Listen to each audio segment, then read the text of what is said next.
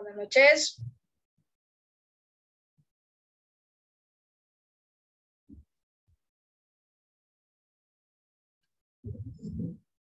Hola, hola, buenas noches. ¿Qué tal? Bien, gracias a Dios aquí, expectante de lo nuevo. Excelente. Súper, súper. Esa, esa es la actitud. Ok. está lloviendo por su sí, casa. Sí, la verdad es que sí. Y estoy así como temerosa que no, no se va a cortar o algo por algún corte No, yo de sí energía. estoy. Y si, y si pasa eso, pues este, nos vamos a dar un espacio, ¿verdad? Si digamos se me corta a mí, para que me den espacio de conectarme con los datos y, y le seguimos, ¿verdad? Hasta que terminemos sus 60 minutos que se lo merece. ¿Verdad? Ok. Excelente. Bueno, eh, no sé quiénes Buenas de noches. ustedes. Muy buenas noches, Ricardo. Bienvenido. No sé quiénes de ustedes, Gracias. A la orden, no sé quiénes de ustedes no lograron estar en la conferencia informativa el día jueves. El día Yo, teacher.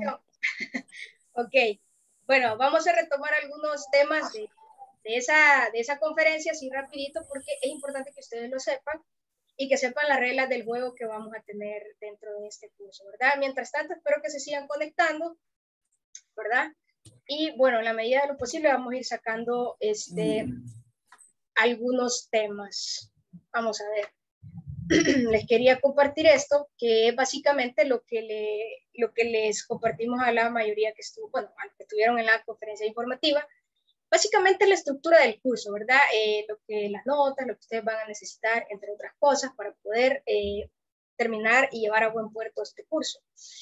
Bueno, primero que nada, pues, el se llama Marketing Digital, ¿verdad? Eh, va a durar cuatro semanas, eh, cuatro días a la semana, de lunes a jueves. En su caso va a ser de 9 a 10. Me perdonan ahí lo de la hora porque pues se, se me fue ahí. Pero van de 9 a 10, no se me vayan a confundir, por favor. Y la fecha de inicio, pues, precisamente es hoy, y vamos a, a finalizar el día 4 de eh, octubre porque tenemos un día feriado, ¿verdad? Que es el 15 de septiembre. Entonces, vamos a correr las fechas, así que no se me vayan a asustar y, y si ven que vamos terminando ya en octubre, pero es por ese tema, ¿verdad? Eh, en cuanto a las evaluaciones, como son cuatro, cuatro semanas, cada semana es eh, denominada como sección y en cada semana ustedes van a encontrar tres laboratorios. Esos tres laboratorios tienen que ver con los temas que vamos a desarrollar en esa, en esa clase. Y ustedes al viernes de cada semana tienen que haber terminado sí o sí los tres laboratorios. Es decir, no se les puede quedar ninguno. Y esos tres laboratorios, que si ustedes los suman por cuatro semanas, van a ser 12 laboratorios. Esos 12 laboratorios van a tener una ponderación de un 30% de su nota final. Y el examen de medio curso, porque también vamos a tener un examen de medio curso que va a abarcar los, las primeras dos semanas de clase, va a valer otro 30%. Y el examen final, un 40%, que ese sí va a resumen de todo lo que vimos en el mes. Y todo eso, pues, sumadito, suma, eh, la redundancia, eh, un 100% que eh, ustedes necesitarán para avanzar, ¿verdad? Bien, no sé si hay dudas en ese tema.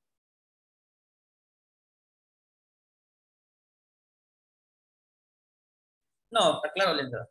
Excelente. Bueno, eh, por ahí el objetivo de este curso es que ustedes comprendan y dominen los fundamentos, las herramientas y las, estrategias de marketing digital sin dejar de lado el marketing convencional, porque ya van a ver más adelante por qué se lo estoy comentando así. Pero esto es lo que yo eh, y nosotros como institución nos hemos planteado que ustedes al final de las cuatro semanas lo dominen. Eh, bueno, acá tenemos así como que una radiografía de lo que van a aprender cada semana, ¿verdad? En la semana 1, los conceptos del marketing digital y el convencional y cuáles son las diferencias entre uno y otro, aparte de otros fundamentos de marketing que son importantes. Vamos a aprender a construir un buyer person, eh, vamos a aprender a bastante acerca de la evolución de las cuatro P's y, y, y, y lo que es ahora las cuatro C's del marketing. Ya para la semana 2, pues vamos a aprender a utilizar las herramientas eh, digitales que nos facilitan muchísimo el tema del marketing digital, cómo podemos poner en marcha una estrategia con la ayuda de estas herramientas. Y algo que no podemos dejar de lado es que, por una parte, tenemos que tener una estrategia digital bien fuerte, pero también tenemos que saber cómo lanzar un producto al mercado y que eso haga una armonía con eh, la estrategia digital para que se acerque mucho más al éxito. Y por último, pero no menos importante, vamos a aprender, eh, vamos a darle una introducción al inbound marketing, al Facebook Ads, o sea, la publicidad en Facebook y cómo vamos a montar una campaña en Facebook. Así que ahí tienen parejito lo que, lo que vamos a ver en este mes. Cualquier cosa que, que, ustedes eh, quieran saber por aparte y que yo pueda apoyarles, pues me van a tener a disposición también, ¿verdad? Y sí que tal vez en el día, no en el preciso momento que me pregunten, pero de pronto en la noche yo con gusto les puedo apoyar, ¿verdad? Así que eh, no sé si tienen dudas de, de lo visto.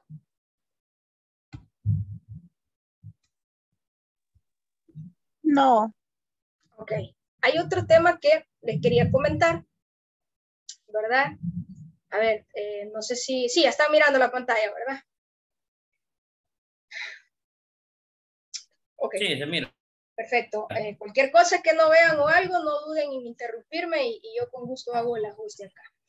A ver, eh, este curso de marketing digital, ¿verdad? Pues les, comento un poquito de, de, mí. De mí. Mi nombre es Laura Martínez, ¿verdad? Soy licenciada en Mercadeo Internacional. Eh, desde que yo estaba ya en mi último año de universidad, la verdad es que yo ya sentía una, la verdad es que ya me interesaba el marketing digital, ¿verdad? Y yo dije, bueno, en realidad a mí esto es lo que me gusta del, del, del marketing, me gusta mucho el, el, tema digital, porque también yo veía que venía una evolución eh, y una migración hacia ese mundo. Entonces empecé a tomar diferentes cursos, como pues, marketing digital como tal, el Search Engine Marketing, que es parte de, eh, para saber posicionar en motores de búsqueda, el emprendedurismo también, porque tenemos que saber cómo lanzar una empresa, o sea, si ustedes se van a dedicar al marketing, tienen que saber más de una estrategia de cómo hacerlo. Hoy en este curso vamos a aprender algo de eso. Eh, también vamos a saber del, del, comercio electrónico. Bueno, en ese caso yo me, me, me, metí en el rollo del comercio electrónico, del inbound marketing y del social media manager. Eh, por el lado de mi experiencia les puedo contar que, bueno, la verdad es que, que, que andado por, por varios rumbos. Por ejemplo, he sido publicista, social media manager, community manager eh, de forma freelance, por ejemplo, así comencé, eh, para empresas como eh, de logística, de lubricantes de, de, de vehículos, entidades deportivas, tanto acá en el país como fuera del país. por ahí fui social media manager y community manager en una agencia de publicidad de España. Tuve esa súper bendición de esa experiencia. luego, pues acá en el país también he sido social media manager y community manager para un par de empresas. Y en el área de la docencia, pues eh, también he tenido la bendición de poder impartir más de una cátedra, ¿verdad? Como podrán ver ahí, pues he navegado por el marketing convencional, marketing digital, el branding, eh, tanto de forma virtual como de forma presencial, branding y social media, eh, publicidad y marketing digital, marketing estratégico marketing y redes sociales y hasta marketing político. A ver, no quiero impresionarlos, no quiero alardear, simplemente les comparto mi hoja de vida para que ustedes puedan tener la plena confianza de consultarme algunos casos específicos en, sus casos particulares de sus empresas y yo con mucho gusto eh, se los voy a ir evacuando en la medida de lo posible. ¿eh?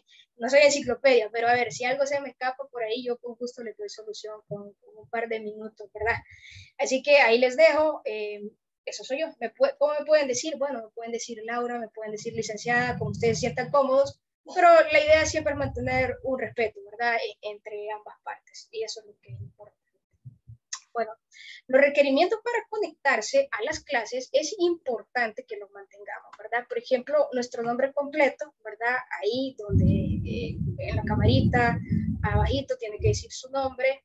Eh, los que estén como oyentes, pues agregar la palabra oyente la cámara tiene que estar encendida, ¿verdad? Eh, eso, es importante. No es con ánimo de, molestarles, ni mucho menos. Es simplemente que algunos de ustedes eh, están acá por un programa en el cual eh, INSAFOR financia, apoya, y a nosotros también nos audita, y al igual que a ustedes. Entonces, nosotros también por eso pues, cumplimos con las reglas y encendemos la cámara, ¿verdad? todo en la, vida todo tiene reglas y esto pues no es la excepción. Eh, minimizar el sonido, sin tener que ponerle mute, ¿verdad? Si, no vamos a, participar, porque de pronto un compañero lo puede estar haciendo y, a lo mejor el, ruido externo le, le, quita la idea y lo desconcentra y no queremos eso, ¿verdad? Y la participación activa. Yo pregunto bastante, me gusta que participen y, y, no, no quiero que tengan miedo porque este curso precisamente es para que aprendamos todos, ¿verdad? No crean, yo también voy a aprender de sus experiencias, así que me gusta escucharlos. Y bueno, la asistencia, pues tenemos que procurar asistir al 100, ¿verdad? A las clases. Eh, vamos a tratar de, bueno, vamos a pasar la asistencia en tres ocasiones, ¿verdad? A las 8, 8.20, 8.50 por ahí hoy tal vez no, porque pues teníamos que dar este tema introductorio, pero sí vamos a hacerlo un par de ocasiones. Eh, tendrán que, al momento yo de mencionarles su nombre, ustedes pues eh, responder con un presente, aquí estoy, buenas noches, etcétera, La cosa es que yo sepa que están ahí. Y bueno, en el tema de las eh, evaluaciones, pues es necesario que ustedes lleguen a un 80%, pero yo no tengo la más mínima duda que todos van a llegar al 100%. Y si hubiese un 110%, creo que lo lograrían también, ¿verdad? Los laboratorios los van a encontrar en la plataforma, ahí está todo, nada va a estar que lo vayan a traer a algún lado, que vayan fuera de la plataforma, nada, todo está ahí. Em, y tienen que, eso sí, como les decía, acabarlos al viernes de cada semana, ¿verdad? Lo ideal es que una vez que nosotros vemos el tema y aquí está el laboratorio, pues lo concretemos. Pero en dado caso se mostraban las carretas o algo, ustedes tranquilamente pueden al viernes, ahí sí que sí o sí tienen que haber hecho toda su evaluación. Y la fecha límite para terminar el examen de medio curso va a ser el viernes 17 de septiembre. No se les olvide, porque eso es un 30%, un solo examen, imagínense, un solo examen que vale el 30%. Ah, no hay que dejarlo ir, ¿verdad? Eh, y eh, todo es con límite a la medianoche, al igual que el examen final, que va a ser el 4 de octubre. Ahí me, perdonan ahí el, error, porque ya vamos a finalizar en octubre. Y eso va a ser eh, también antes de la medianoche. Así que anótense esas fechas porque son importantes. Y la del 4 de octubre la corrigen ahí para, perdón, la de septiembre que va, pasa para octubre. Bien, lo de la plataforma Zoom ya lo hablábamos, el botón en silencio, la cámara encendida. Eh, si eh, quieren eh, comentarme algo a través del chat, lo pueden hacer. O pueden levantar su manita y pedir la palabra que yo con todo gusto se la voy a proporcionar, ¿verdad? Bueno, dicho lo dicho, vamos a pasar al tema de, las, de la asistencia, que es lo primero que íbamos a ver, ¿verdad? estamos.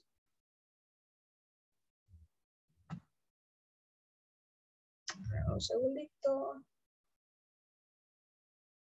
Que se me está poniendo como nerviosa la computadora. No soy yo, es la computadora. A ver, acá estamos. Ya saben, ¿verdad? Para decir presente, eh, me lo dicen, abren su micrófono sin ningún problema. A ver, Norma Patricia. Natarén de Mengíbar. Presente. Excelente. Glenda Natan, Natalie, perdón, Alarcón García. Okay. Eh, Jacob Isaías Salinas. Tampoco está. Eh, tenemos a Mayra Gabriela Cubías. Presente. Muy bien. Andrea Ivonne Mayorga. Presente. Ya casi le estaba poniendo la ausencia. A ver. A ver. Aquí estoy. Excelente. Kimberly Alejandra Dimas. Presente. Muy bien. Gabriela Alejandra Galdames. Presente. Muy bien. Josué Alexander Flamenco. Presente. Muy bien. Mayra Lisette Nerio. Presente. Híjole, ya andaba poniéndole la ausencia. Ricardo Antonio, Ricardo Antonio Maravilla. Presente. Eso, excelente. Muy bien, me encanta este grupo. Tienen un gran feeling a pesar de la hora. Y eso, créanme que es buenísimo para esta materia. Bueno, vamos a comenzar, ¿verdad? Este, a ver, a ver, a ver, ¿qué más les iba a compartir? No, ya estamos. No sé si tienen alguna duda en cuanto a las evaluaciones y demás temas de los que les estaba compartiendo.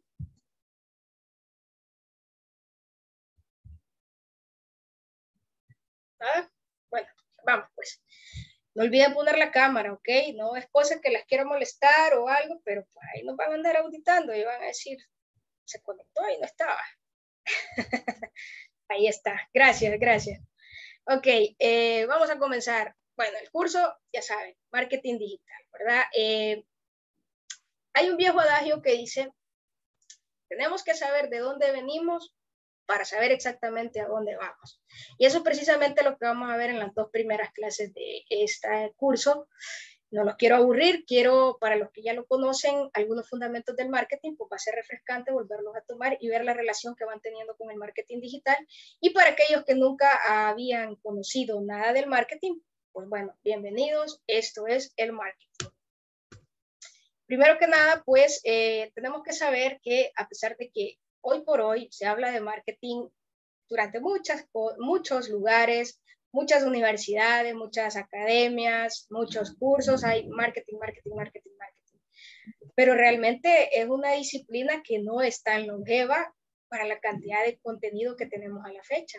Eh, realmente eh, ya eh, un registro histórico lo tenemos a partir de 1902. Verán, no es tan antigua, pero digamos, eso sí nos ponemos estrictos en el tema de que en 1902 se dio el registro histórico, pero ya en la práctica, empíricamente, el marketing está presente desde el inicio, desde que hay una necesidad, desde que hubo un trueque, desde que usted, eh, bueno, no usted, pero nuestros antepasados decían, bueno, yo tengo frijoles, pero no tengo maíz y necesito maíz. Ojo, esa palabra necesidad va a estar presente en todo el curso. Entonces, desde que hay una necesidad, existe el marketing. Lo que pasa que en ese tiempo era empírico y no se conocía para nada. Entonces, el marketing tiene la peculiaridad que va creciendo al ritmo que crece el comercio, ¿sí? Al ritmo que crece el mercado, al ritmo que ha crecido la globalización y al ritmo que ha crecido el Internet. Si es que vamos a ir viendo algunas de esas etapas y cómo ha ido evolucionando el término y la rama como tal. Pero bueno, ahí tienen una pequeña biografía. En el 1902, primer registro histórico. En el 11 eh, fue creado, eh, digamos, eh, empezó a tener independencia, ya como que los empresarios empezaron a ver, oye, como que necesitamos a alguien que haga marketing, que se encargue bien, bien de las ventas, porque en un primer inicio era ventas y nada más. Y eh, ya en 1914, pues sale la primera investigación del marketing, ¿verdad? Y un año más tarde, pues se publica el primer libro. Estamos hablando que en 1915 se publicó el, el primer libro. Como les digo, no es tan longeva, pero sí tenemos muchísimo conocimiento a partir de la fecha. Y bueno, yo les quiero preguntar a ustedes, así, en lo que conocen, en sus palabras, para ustedes, ¿qué es el marketing? A ver, ¿Quién es el primer valiente? Yo. Eso. A ver, no. Para mí, marketing es vender. Ok. Sí. Así. Es, eh, es atraer a las personas o a los posibles clientes que nos compren nuestros productos. y da, en, el, en el caso, pues que nos eh, contraentreguen dinero y nosotros bienes o servicios. Excelente. Muchas gracias, Norma. A ver, ¿Quién más? ¿Por ahí quién levantó la mano? Y que Ricardo levantó. A ver, vamos por orden. Vamos a darle a las damas primero, Ricardo. Luego vas tú. Adelante. Yo, mm, eh, para mí, marketing es presentarle una buena oferta bien atractiva al cliente. Ok. Acompañado de sus, del producto, sus características, cómo voy a impulsar o qué medio voy a utilizar yo para llegarle al cliente. Muy bien, muy bien, me gusta, me gusta. A ver, Ricardo, adelante. Luego vamos con Mayra. Ok, gracias. El marketing, bueno, como eh, lo entiendo, la mercadotecnia, ¿verdad? El uso de las estrategias, ¿verdad? Para poder impulsar un producto, puede ser una marca, ¿verdad? Un bien.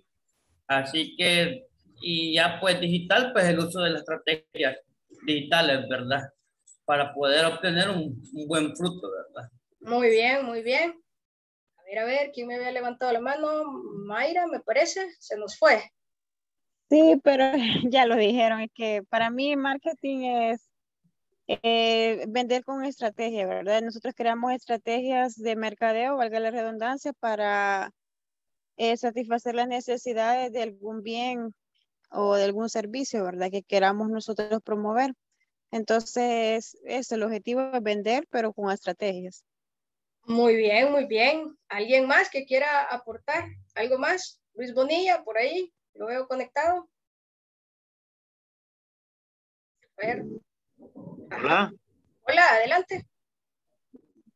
Bueno, para mí el marketing es encontrar al cliente ideal que necesita nuestro producto. Muy bien, muy bien. A ver, ¿alguien más que quiera aportar? Un par de conceptos más. Gaby Galdames. Ok, no sé si está. Bueno, eh, todos han mencionado conceptos muy, muy importantes. Ventas, estrategias, cliente, estrategia digital, estrategia convencional, etcétera.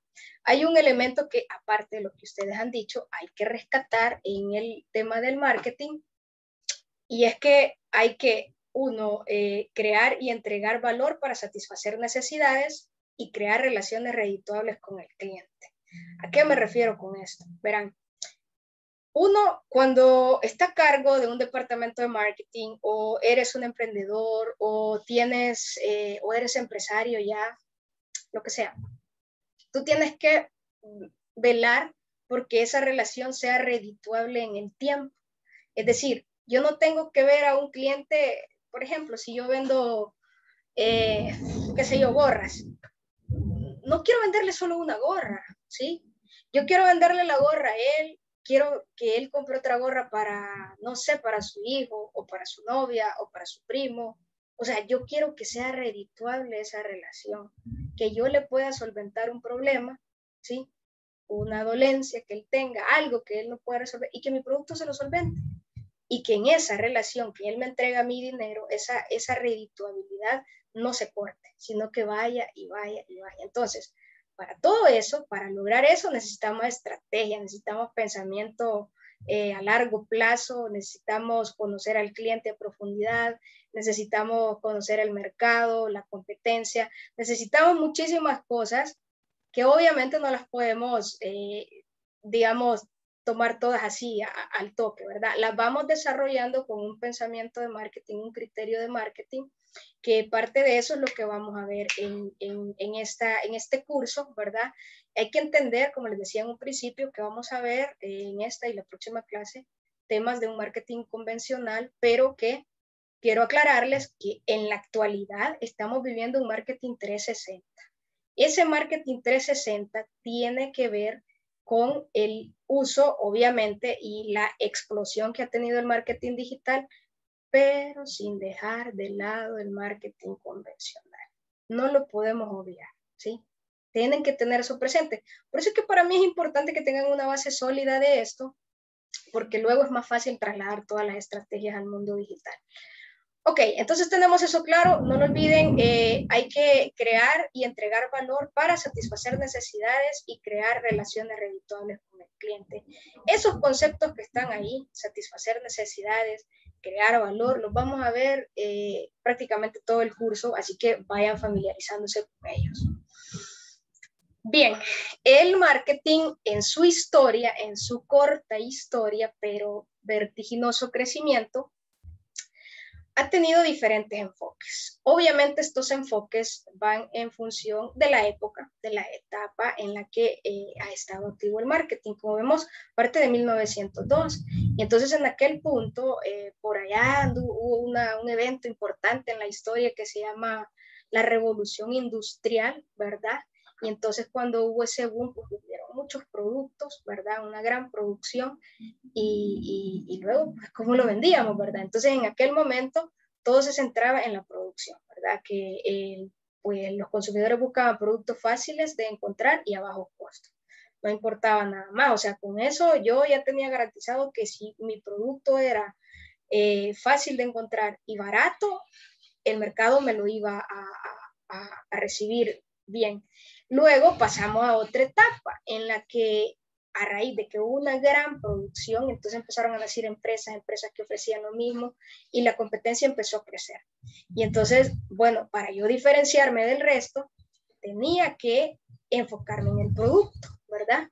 Los consumidores ya se empezaban a, a, preferir aquellos productos que tenían calidad y desempeño. Entonces, el protagonista en ese momento era el producto, ¿verdad? Y aquellos productos que eran superiores eh, al resto y que tenían características innovadoras, pues se posicionaban por sobre el resto de productos. Luego, a raíz de esa gran cantidad de productos, gran cantidad de empresas, eh, vinieron la etapa o el enfoque a las ventas, en lo que lo único que importaba era vender. Hubo un tiempo en el que los vendedores eran tan feroces, pero tan feroces, que yo no sé si alguno de ustedes o alguien de su familia fue víctima, pero aquí en El Salvador había un modelo de negocio que era venta de libros. Y usted ni se daba cuenta cuando ya tenía comprada la enciclopedia. Así de feroces eran. Y usted ni la iba a necesitar, ni la iba a usar, pero ahí le vendían su enciclopedia. Entonces, en ese punto, eh, ese es un ejemplo ya muy, pero muy reciente, pero eso duró un buen tiempo, ¿verdad? De que era mucho de las ventas y ahí nacieron esos eh, vendedores de casa en casa, como los de, vendedores de, libros, que llevaban el producto hacia la puerta de, la casa de los consumidores o de los clientes potenciales con el fin de que decir, bueno, tú no vas a ir hasta allá, yo te lo traigo, tú lo necesitas, es más, si se descuidaban les vendían una piedra. Así de simple fue el tiempo de las ventas en, ese momento. Luego vino una orientación o un enfoque al marketing, ¿verdad? Aquí ya empezamos a ver los pininitos de lo que hoy actualmente estamos viendo, donde se empezaron a valorar el sentir y eh, cómo respondía el cliente a esos estímulos, ¿verdad?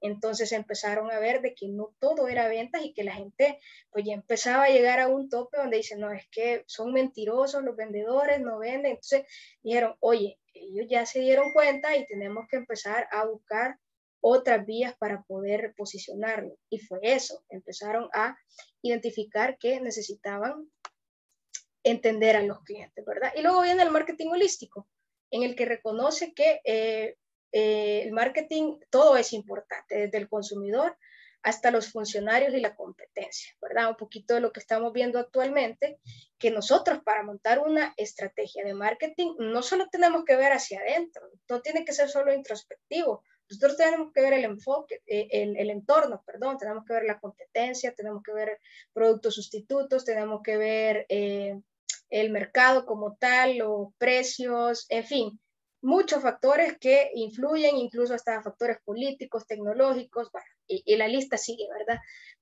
Por eso mismo, porque hay muchos factores que influyen en el consumidor, que dicho sea de paso, más adelante vamos a ver qué son esos factores que influyen. Ahora bien, en este punto, también es importante saber que no es marketing, ¿sí? Muchas veces las gentes se enfocan o, o, o encajonan al marketing en una sola cosa. Les traje tres ejemplos. Eh, eh, es decir, hay gente que piensa que un diseñador tiene que ser alguien de marketing o tiene que ser un mercadólogo. O alguien que es publicista tiene que ser mercadólogo. O alguien que de relaciones públicas tiene que ser mercadólogo. Cuando la verdad de las cosas es que cada una de estas eh, tres áreas que les he puesto ahí son elementos fundamentales de una estrategia. Son amiguitos inseparables del marketing. Es decir, yo en la actualidad, sin un buen diseño, no puedo hacer marketing. ¿Sí? ¿Por qué? Porque la imagen vende, ¿sí? Entonces necesito apoyarme de un buen diseñador, de una buena estrategia visual. Sin la comunicación, el marketing no se puede dar. No podemos. Estamos en la, en, la era de la comunicación y necesitamos estar ahí presentes. Y sin la publicidad, pues obviamente no podemos llegar a grandes públicos. Entonces les puse esos tres ejemplos, pero luego pueden haber otros más. Eh, pero es importante que nosotros entendamos que el marketing es una rama bastante, pero bastante amplia, en la cual cada una de esas etapas o, esas elementos son, como les digo, eh, fundamentales, son amiguitos íntimos del marketing. Sí que es cierto que la aspiración de que un mercadólogo integral puede tener más de una habilidad, eso es cierto y, lo tienen que tener claro. Pero no es solo eso, eso quería compartirles para ir como aclarando y ampliando un poquito más el término. Luego tenemos que saber que el marketing también tuvo sus etapas evolutivas. Como todo, les decía que el marketing ha sido un crecimiento eh, vertiginoso realmente conforme ha ido avanzando el mundo, eh, ha ido creciendo también. Perdón. Y entonces, según Philip Kotler, el padre de la mercadotecnia, como algunos ya lo conocerán, él eh, encaja en cuatro eh, etapas la evolución del marketing. En la etapa o el marketing 1.0, en la que se centraba en el producto, eh, y todo iba dirigido al mismo, es como que lo relacionamos un poquito con, con la fase o con el enfoque a la producción. Luego vino el, el marketing 2.0, que se enfocaba principalmente en las necesidades del consumidor, ¿verdad? Ahí es donde nace o se le da más importancia a la pirámide de, Maslow, donde divide las, necesidades por fisiológicas, etcétera, etcétera, etcétera, hasta llegar a la autorrealización y, y se tomaba eh, muy, pero muy en serio a la hora de establecer las estrategias. Luego viene el marketing 3.0 que está enfocado en el valor de las personas, tanto los consumidores como centro de la estrategia, como las personas que intervienen para que el producto o servicio llegue hasta las manos del consumidor. Y finalmente tenemos la, eh, el marketing 4.0, que el objetivo es generar una confianza y fidelidad con el cliente, que es básicamente entre el 3 y el 4 es lo que estamos viviendo ahorita, ¿verdad? Actualmente nosotros no podemos vender nada, bueno, nosotros como consumidores no nos sentimos tan cómodos eh, de tomar una decisión si antes no le preguntamos o si no hemos visto que un influencer ya dijo que puede. Así estamos ahorita. Si un influencer dice que un producto es bueno, hay muchas personas que van y lo compran. O por ejemplo, yo puedo ser eh, dependiente de un foro en internet y puedo ir y preguntar, bueno, eh, ¿será que el vehículo con las especificaciones tal y tal sale bien? Y luego viene otra persona y comenta, no, pues sabes que sí, la verdad, yo tuve una buena experiencia. Y cuando nos dicen eso, es como que nosotros nos sentimos más seguros y damos ese paso. Pero para lograr eso, el marketing que se tiene que hacer, todo el esfuerzo de marketing, publicidad, etcétera, etcétera, es bastante amplio. Y vamos a tratar de ver varias cosas de esas. Por ejemplo, acá les traigo en esta gráfica eh, cómo ha ido evolucionando el marketing o las etapas mismas del marketing que ya he mencionado antes, pero con dibujitos, ¿verdad? Para que, uno, para que nos entretengamos y luego para que veamos qué elementos van cambiando a raíz que fue evolucionando el marketing. Por ejemplo, en la etapa 1.0 que hablábamos de que eh, se centró en el producto y nada más en vender el producto como tal, ¿verdad? Eh, los consumidores se fijaban nada más en las, en las necesidades físicas y le daban un valor económico. Luego utilizábamos medios tradicionales, televisión, radio, periódico, etc. Y la comunicación era unidireccional, es decir, la empresa daba los conceptos y pues no recibía nada más, ¿verdad? No, lo es, no era tan necesario en ese momento. Con el 2.0, marketing centrado en el consumidor, eh, lo importante se, centraba en eh, la satisfacción y retener consumidores, ¿verdad? Entre más tiempo teníamos esa relación, mejor. El consumidor empezó a ser un poco más inteligente, ¿verdad? A darse cuenta que tenía varias opciones a cuáles acudir y que esas opciones le daban un poder de negociación y, y, eso también se dieron cuenta las empresas y por eso empezaron a darle un valor a la persona, al consumidor como tal, y empezábamos a ver los medios interactivos, que el correo electrónico, eh, que ya empezaba a las llamadas telefónicas, etc. Y la comunicación ya era bidireccional, ¿verdad? Ya yo podía emitir un contenido y las personas responder, ya sea vía llamada, vía correo electrónico. Ya para el marketing 3.0, pues centrado en los valores, ¿verdad? Crear un mundo mejor. Empezaron a surgir aquellas luchas por, por ejemplo, cuidar el planeta, cuidar los animalitos, etcétera. Entonces, eh, eh, se centraba ya más en el ser humano integral, mente, corazón y espíritu. Y le damos más valor al medio ambiente. Ya los medios interactivos ya estallados, ¿verdad? Todo el tiempo. Y la comunicación era multidireccional, ¿sí? Eh, podíamos estar en la televisión y contestar un chat o llamada, etcétera. Ya, ya los consumidores teníamos, empezábamos a ver el poder que podemos tener ahora mismo. Y en la última etapa, que pues está el marketing centrado en el, eh, en el consumidor, ¿verdad? Eh, la colaboración entre, ay, a ver, no, no puedo ver ahorita, un segundo, centrado en la marca y la sociedad, ¿verdad? Eh, eh, humanizar la marca. Cada vez más nosotros queremos escribir a una página de Facebook, por ejemplo, y la verdad es que sabemos que ahí dice un nombre de una página, pero nosotros sabemos que atrás hay una persona y por lo tanto queremos que nos trate como persona, ¿verdad? No como un robot, ni mucho menos. Entonces le da más valor a las necesidades, la hiperconectividad es el boom ahora mismo y la comunicación multicanal, ¿verdad? Entonces esta ha sido la evaluación que nos trae acá a estudiar este curso de marketing digital, llegar a que Imagínense ahorita nosotros con esta era de la comunicación, estamos acá intercambiando contenidos, intercambiando conocimientos, pero cada quien está en su casa, ¿sí? Seguramente en pijama, como yo. Bueno, yo no tanto, pero eh, la mayoría sí. Entonces, así ha avanzado el mundo y así ha avanzado el marketing también. Ahora sí, ya podemos tener una idea más clara de qué es el marketing digital, ¿verdad? Y es un conjunto de estrategias pues volcadas a la promoción de una marca en Internet, así, a secas, sin más ni menos. Y ahora sí, nos podemos, ahora tenemos un panorama más claro para saber cuál es la diferencia entre el marketing convencional y el marketing digital. De entrada, la irrupción, ¿verdad? El marketing convencional nos interrumpían casi que a cada momento. Si usted estaba viendo la televisión, un minuto le daban de telenovela y al segundo, ahí estaba el comercial. Y entonces uno empezaba y empezaba a hacer SAP, es decir, a cambiar. Y, hasta cierto punto fue molesto, nadie quería ver eh, publicidad, o sea, es, es totalmente eh, interrumpe lo que uno esté haciendo en ese momento y llegó a molestar hasta cierto punto. Luego, en el marketing digital, pues claramente ahí cambian las reglas del juego. lo, que nosotros queremos es atraer al cliente y para traerlo pues empezamos a subir contenido a las redes sociales, empezamos a entretener, empezamos a, generar contenido de valor, empezamos a hacer, eh, bueno, como lo hemos visto en este último año de pandemia, videoconferencias, webinars eh, y un montón de cosas que este, nosotros podemos hacer para generar ese contenido de valor.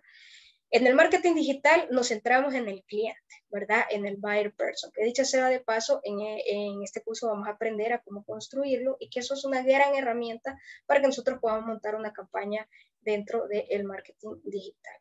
Eh, mientras que en el marketing convencional, pues solo se centra en el producto y en las ventas, como lo hemos visto. La diferencia entre los usos de medios tradicionales a medios digitales el costo que es mucho menor eh, al utilizar los medios digitales, perdón, y el alcance que nos da también es una gran diferencia. Así como también en el mercado, en el marketing digital, nos centramos en un nicho de mercado. Por el contrario, en el marketing convencional, por los medios que se utilizaban, vos tenía que, o sea, yo, digamos, si quería montar una campaña publicitaria en un canal de televisión, pues ni modo, ¿verdad? Lo montaba ahí y sabía que iba a llegar quizás a todo el país, pero realmente todo el país consumía mi producto. Difícilmente. Entonces, en, la ventaja que da el marketing digital es que yo me puedo enfocar en un nicho de mercado. Y ese nicho eh, incluso lo puedo hipersegmentar, que me da más exactitud a quién me voy a dirigir. Y entonces ahí cobra importancia el buyer person. ¿Sí? Porque sé, tengo que saber cómo le voy a hablar y eso también lo vamos a desarrollar más adelante. Eh, y pues en el marketing convencional pues se busca vender a toda costa, mientras que en el marketing digital, como ya lo hemos dicho, buscamos generar esa confianza primero para que luego el cliente pues decida hacer esa conversión. Bueno, no sé si tienen dudas hasta este punto. No. No. ¿Seguros, seguras? Ok. Bueno, vamos a pasar lista de nuevo, ¿verdad? Para que no se me vayan y que no se me duerman. Ok, vamos de abajo hacia arriba. Ahora, permítame. Ahí está. Eh, Ricardo Antonio. Hola, Ricardo. Se le congeló la imagen. Presente. Ahí está, ahí está. Ya me había asustado, se nos fue, dije yo. bueno, Mayra eh, Lisette. Aquí estoy. Ok, em, vamos a ver. Josué Alexander. Josué. Ok. perfecto. Gabriela Alejandra. Aquí estoy. Muy bien. Kimberly Alejandra. Aquí presente. Bueno, excelente. Hola, hola licenciada, por acá estoy. Ahí está, chévere. Sí, que se me fue. Sí, sí. Excelente, qué bueno que volvió. Eh, veamos, eh, Andrea Ivonne. Aquí está. Muy bien, Andrea. Eh, Mayra Gabriela. Presente. Muy bien. Jacobo Isaías. No está, vea. Presente. Ahí Bien, está, por aquí ahí estoy. Está, ¿verdad? Perdone, perdone. Me le iba a poner la falta. Muy chiquito.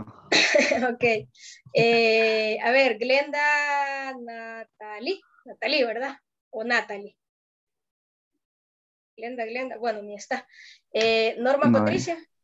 Aquí estoy. Muy bien, excelente. Ahí estamos. Para, eso es para que no se duerman nada más, ¿verdad? Ok, seguimos pues. Bueno, de estos tres conceptos, ¿quiénes tenían conocimiento ya? Necesidad, deseos y demandas. A ver, ¿habían escuchado de eso alguna vez? Yo. Yo Puede contar de eso. A ver, ¿qué nos pueden contar de eso? De hecho, como yo estoy estudiando eh, licenciatura en Relaciones Internacionales, yo llevo lo que es la materia de Economía eh, 2 y ahí es donde nos enseñan la necesidad de un producto, el deseo de tenerlo y la demanda que va generando cada producto que va a salir en el día. Puede ser una hamburguesa, puede ser un peine, etcétera. Ok, muy bien, muy bien. ¿Alguien más que quiera aportar? Sí, licenciada, que todo básicamente parte de una necesidad. De ahí nace el deseo y se crean las demandas. Correcto. A ver, ¿quién más? ¿Quién más? ¿Uno más? A ¿Uno veces más? considero, a veces considero también que la gente compra por ansiedad, entonces provoca una necesidad como para. Ok, ok, muy bien. Eh, mire qué bueno lo que ha dicho Norma, eh, me gusta. Los demás también me gusta lo que han dicho, no me lo vayan a tomar a mal. Sin embargo, en este caso de la necesidad, deseos y demanda, la necesidad es algo, una, un estado de carencia, ¿verdad? Ya sea psicológico, como decía Norma, o psicológico, como cuando a mí me da hambre, perdón, fisiológico o psicológico. Psicológico cuando yo lo creo mentalmente y eh, fisiológico cuando me nace, ¿verdad? Por ejemplo, a mí me da hambre, pues yo lo que quiero es saciar eh, esa necesidad en ese momento de alimentarme. Y bueno, cuando pasa a deseo, que es el, eh, toma la forma concreta en la que se expresa la voluntad de satisfacer o cubrir una necesidad, como lo pueden ver en la lámina, yo tengo hambre y a lo mejor lo quiero satisfacer con un deseo de eh, comerme una hamburguesa, por ejemplo. Y eh, luego, eh, pues se traslada a demanda y aquí donde ya nosotros vemos claramente el touch point que hay entre el consumidor y, y, y, y la empresa o la marca cuando la demanda eh, pues expresa un deseo. Pero ojo, la demanda está condicionada a recursos disponibles, ¿sí? Por ejemplo, yo puedo tener hambre, ¿sí? Y quiero comerme una hamburguesa, pero quizás no me alcanza para una hamburguesa. Entonces no tengo el recurso disponible. O por el contrario, quizás sí tengo el recurso disponible, pero donde yo estoy no venden esa hamburguesa. Y entonces por ahí yo tengo que, eh, me veo frustrada con el deseo, pero igual tomo un bien sustituto para poder cubrir esa necesidad. Entonces, ¿por qué es importante conocer esto? Porque en el marketing digital o convencional, yo tengo que acompañar estas tres etapas para poder ganar a ese cliente para que consuma mis productos o servicios. Gráficamente, el viaje de la demanda, la necesidad, del deseo y, perdón, de la necesidad, el deseo y la demanda es el siguiente. Todo parte de un equilibrio, ¿verdad? Por ejemplo, yo ahorita estoy en un equilibrio porque yo no tengo hambre. Sí, yo ya comí, ¿verdad? Ya sacié esa necesidad. Pero, por ejemplo, quizás si sigo dando clases otro ratito más, puede surgir esa necesidad, dar hambre. Entonces yo ya determiné de que hay un estado de carencia en mi cuerpo. Luego pasa el deseo. Si ustedes ven acá arribita del, del avatar que tengo acá, que, se da cuenta que, que, quiere comer algo en particular, acá arriba se presentan diferentes círculos. Estos círculos representan la competencia. Por ejemplo, en el caso de que este fuera comida rápida, aquí tendría, por ejemplo, hamburguesa, aquí tendría pizza, Acá tendría a lo mejor comida mexicana, comida china y quizás las pupusitas, para no dejarnos de lado ahí.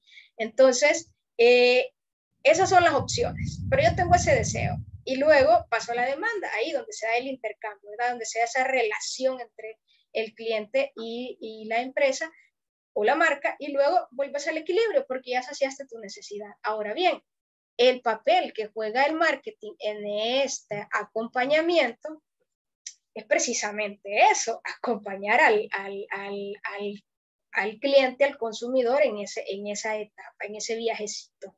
Entonces, en una primera instancia, cuando surge la carencia, el marketing la identifica, ¿verdad? O sea, yo, por ejemplo, si eh, vendo comida rápida, yo sé que las horas eh, del mediodía y en la noche, ahí donde se, se identifica que, que la persona va a tener esa carencia, es decir, que va a tener necesidad de eh, eh, comer. Entonces yo tengo que estar ahí. ¿Cómo voy a estar ahí?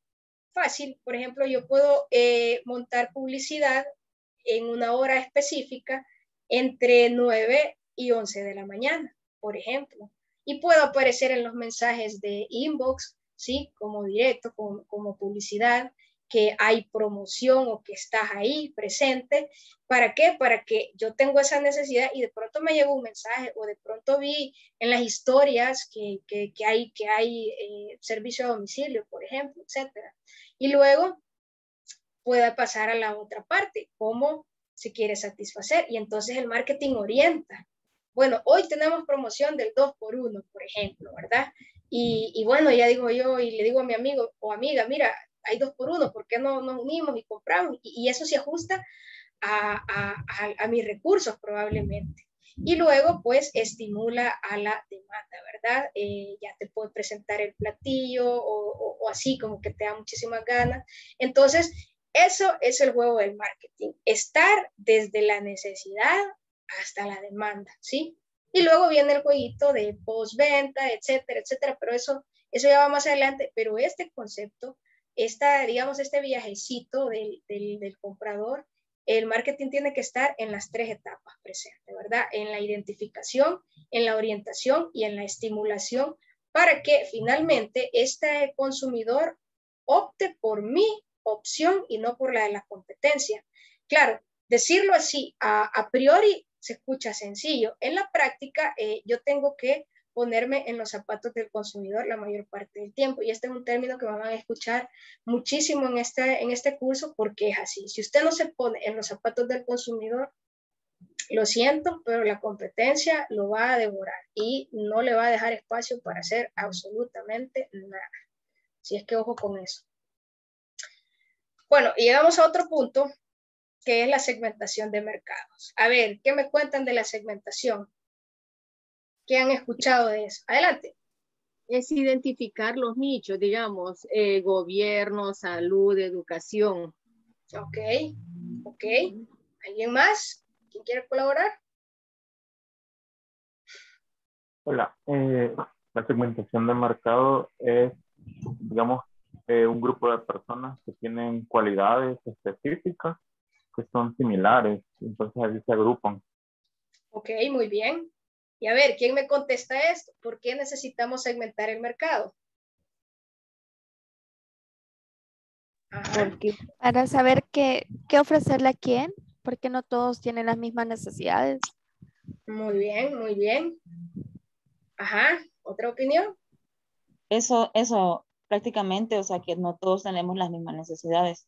Por ejemplo, me ha tocado que necesito comprar un pastel, por decirlo así, y uno busca la dirección de cierta panadería y ahí le salen después todas las opciones, como que uno llama, bueno, en las redes sociales, uno llama a esa clase de, de productos por la necesidad.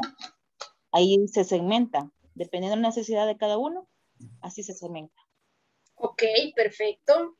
¿Alguien más? Se facilita la, la, identificación de las necesidades por cada, por cada segmento de, de, de mercado o de clientes. Muy bien, todos han dicho temas muy acertados respecto de la segmentación. Y hay una cosa que, que quiero que, que, también la guarden, ¿verdad? Es que también nos facilita a nosotros como empresa, ¿verdad? Es bien, pero bien difícil que usted pueda atender al mercado completo. Primero, porque es más caro. Segundo, porque, bueno, realmente no todos los productos son para todos, ¿sí? Y entonces nosotros tenemos que invertir nuestro dinero en un segmento, en una porción de ese pastel a quien realmente podamos atender. Y entonces ustedes me van a decir, bueno, pues, pero ¿y esto qué tiene que ver con el marketing digital? Fácil. Si usted no sabe segmentar en el mundo offline, no va a poder segmentar en el mundo digital.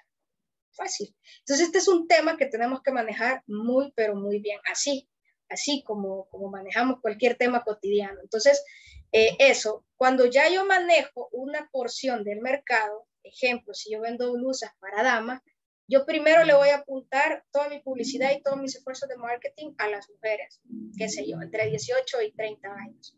Y cuando yo ya domino ese mercado, ya yo, yo digo, bueno, acá ya estoy posicionada, ya, ya me va bien, puedo ir y cortar otro pedacito del pastel. Y puedo ir y decir, bueno, quizás probablemente voy a probar con los caballeros, ¿sí? Y voy a empezar a traer ropa para caballeros y voy a vender ropa para caballeros. A lo mejor voy a emular algunas de las estrategias tropicalizadas al, eh, a los chicos y, y tratar de que funcione. Entonces, así yo puedo ir segmentando y puedo ir atendiendo bien ese mercado. Un gran ejemplo de la segmentación de mercado es lo que hace Inditex. A ver, ¿alguien sabe quién es Inditex en el mundo de la moda? ¿Le suena Sara, por ejemplo? Sí. Pull&Bear, etcétera. Bueno, ellos tienen una, una gran marcota que se llama Inditex, ¿verdad? Y bajo esa, ellos han hecho este ejemplo de segmento que yo les decía, con el caso de las blusas para damas y la ropa para caballeros. Ellos han identificado ciertos segmentos de mercado a los cuales ellos pueden eh, atender. Y no todo surgió así, todo de una vez. No, ellos fueron por partes decidieron atender a un mercado, lo, estaban satisfechos con eso y dijeron, bueno, queremos aumentar y vamos por otro segmento, y vamos por otro, y vamos por otro. Y así, dividiendo el gran pastelote que es la población en pequeñas partes, yo puedo llegar de mejor manera. Puedo conocer más al cliente, puedo conocer más la industria, eh, obviamente puedo conocer más la competencia y obviamente esto me va a ayudar a que la inversión de dinero que yo haga no sea botar el dinero. Eso es bien importante que se queden con él. Entonces tenemos eh, prácticamente seis, eh, perdón, cinco grandes criterios eh, de segmentación, creo que ya la mayoría lo manejará, ¿verdad? La, geográfica, demográfica, psicográfica, comportamiento y contextual, ¿verdad? Acá lo tenemos un poquito más este, detallado. Todo esto es importante comprenderlo, eh, ¿verdad? Porque les comentaba que algunas plataformas de las cuales pues, vamos a, empezar a ver más adelante nos permiten segmentar por esto. Pero si yo no conozco mi segmento de mercado a profundidad, probablemente yo cometa un error y esa es la clave de esto, ¿sí? Yo quizás quiera montar publicidad en, en Google AdWords y de repente yo como no me importó la segmentación, nunca tuve la oportunidad de conocer la profundidad, y yo digo, voy a meter mil dólares de publicidad. Y de pronto yo lo tomé esto a la ligera y digamos que yo no tomé en cuenta, eh, por ejemplo, la nacionalidad, ¿sí? Por ejemplo. Yo dije, bueno, como es un, producto que todo mundo usa, una camiseta que todo mundo usa, en todo lugar la van a utilizar y, y se me fue y, dejé ir ahí la nacionalidad, qué sé yo, para un país donde no utilizan camisetas de algodón, por ejemplo, que utilizan ropa como túnicas. Y entonces ese dinero, esa porción de dinero que se me fue para allá fue desperdiciada totalmente, porque hubiese podido redireccionar ese dinero a lugares, a países que realmente consumen ese producto, ¿verdad? Por ejemplo, yo no podría mandar, bueno, sería realmente botar mi dinero, decir, bueno, voy a montar una publicidad de venta de trajes de baño y de repente pasé por alto este tema, como les decía, y la mandé allá por, por Afganistán, vea, ahorita está pero terrible eso con las mujeres. ¿De qué me sirvió? Boté mi dinero. Entonces, esos son temas que debemos conocer. Y fíjense bien que esta, yo quería compartirles esto porque el criterio de segmentación contextual toma una vital importancia en la actualidad, más que lo demás, ¿verdad? ¿Por qué?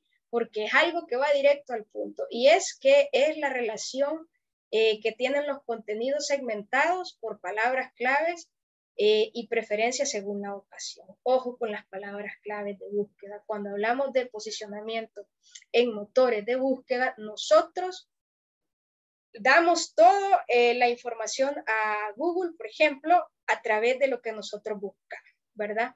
Por ejemplo, yo puedo poner, eh, quiero, no sé, cursos de marketing, por ejemplo. Ahí ya le di la clave a Google de que, para que indexe toda la información. Entonces, yo me quiero posicionar, yo tengo que precisamente incluir en mi segmento de, eh, en mi criterio de segmentación las palabras clave. Si yo doy cursos de marketing, pues obviamente mis palabras claves tienen que ir la palabra marketing. Y así, otras más que yo deberé buscar eh, de acuerdo al, eh, digamos, tipo de servicio que yo utilice. Entonces, eso es importante que eh, ven cómo les decía yo al principio que estamos viviendo una etapa de marketing 360, ¿sí? Es decir, que, que le da la vuelta a todo y utilizamos, eh, obviamente, explota en el marketing digital y todo mundo quiere hacer marketing digital porque ahí están las personas, ahí está nuestros, nuestro, eh, nuestro mercado potencial, pero tenemos, no podemos dejar de lado al marketing convencional, ¿sí? O sea, nada me serviría a mí tener una super, mega, ultra eh, estrategia digital si de pronto a mí se me va a caer en el, en el, en el marketing convencional. Ejemplo de eso, yo puedo estar ofreciendo un producto eh, en 24 horas, que te lo entrego en 24 horas, pero quizás no he tomado en cuenta que mi, cadena de distribución o la persona, el encomendista que yo, que yo contrate, quizás no va a estar en ese tiempo.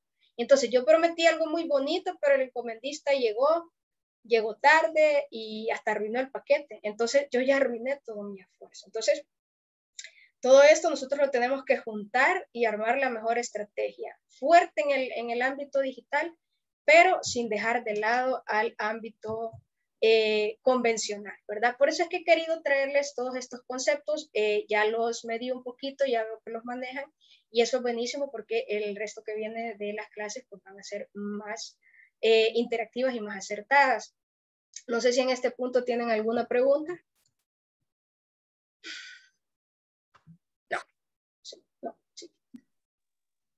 No, Estamos bien, Entonces, eh, todos se conectaron a tiempo y vieron los, eh, los factores o, los laboratorios, todos esos detalles que vimos al principio de la clase. ¿Todos estamos claros con eso? Ok, perfecto. Cualquier duda que tengan, eh, me pueden escribir ahí en el chat. yo con gusto les voy a ir solventando digamos, no en el día completo, pero sí quizás por la tarde, noche yo les estaría respondiendo. Vamos a pasar la última lista, ¿ok? Vamos a ver. Eh, Norma Patricia. Hola, aquí estoy. Excelente. Eh, Glenda Natalie, creo que no vino, ¿verdad? Bueno, no asistió, me habían dicho. Ok, Jacobo Isaías. Presente. Ok. Eh, vamos a ver. Mayra Gabriela. Presente. Muy bien. Andrea Ivonne. Presente. Excelente. Kimberly Alejandra. Presente. Ok. Gabriela Alejandra. Presente. Ok. Josué Alexander. Presente. Ok. Eh, Mayra Lisette. Presente y Ricardo. Presente. Bueno. para la otra hora. Ah, no, ya no. Excelente. Bueno, quiero felicitarlos, ¿verdad? Porque la verdad es que para ser un poquito tarde han estado con un gran feeling. La verdad me ha gustado muchísimo. Eh, me encanta que tienen un criterio ya, un poquito pulido, así que nos vamos a entender muy bien en las próximas clases. Los espero mañana, siempre unos cinco minutitos antes de las nueve para terminar al filo de las diez, como ahora. Así que los dejo ir a descansar. Espero les haya gustado la clase. Cualquier cosa mejora o algo, pues estamos a la orden, ¿verdad? Buenas noches. Gracias. Buenas, Buenas noches. Descansen. Buenas noches. Buenas noches. Gracias igual. Gracias.